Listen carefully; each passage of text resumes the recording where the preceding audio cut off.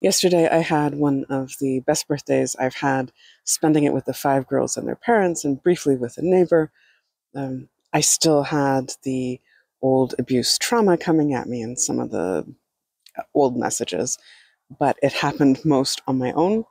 Uh, it helped that the girls were constantly talking to me or playing games with me or hanging on to me or hugging me or we were doing something like eating together and talking, and it helped a lot to have all that mm, love and lightness around me. It really did help, and it was such an amazing positive distraction. And I love them all, so that helped.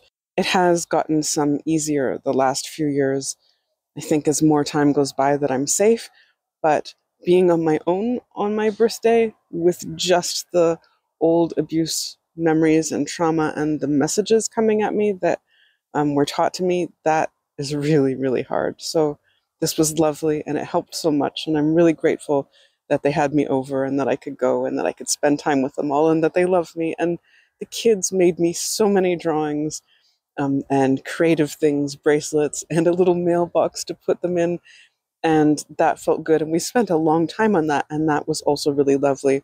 I love that um, distraction. And also, I'm like reassuring them how much I love their art and how good it is. They all loved the gluten free cake, and I made icing with um, coconut sugar and butter and cocoa and vanilla. And I was so glad that they all loved it. And the mom made falafel, and it was so nice of her to do because it's vegetarian and I can eat it. It doesn't have gluten, and that was lovely. And we did sparklers.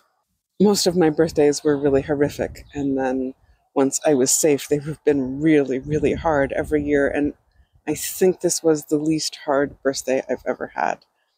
There was still the trauma there, but it was so much less of the day and it was less intense. And I'm really grateful. And I got to talk to my therapist too and a couple friends.